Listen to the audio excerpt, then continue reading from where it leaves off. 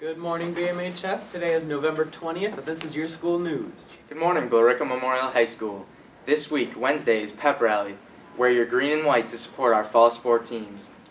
On Thursday at 10 o'clock at the Marshall, the Billerica High football team will take on Chelmsford in the, their annual Thanksgiving football game. This week we are continuing Spirit Week. Today, Monday, is 'Murica Monday, and tomorrow is Class Color Day. And we'll be following Wednesday with our pep rally. Go BMHS! That's all we have for you today, BMHS. See you next time. Yeah.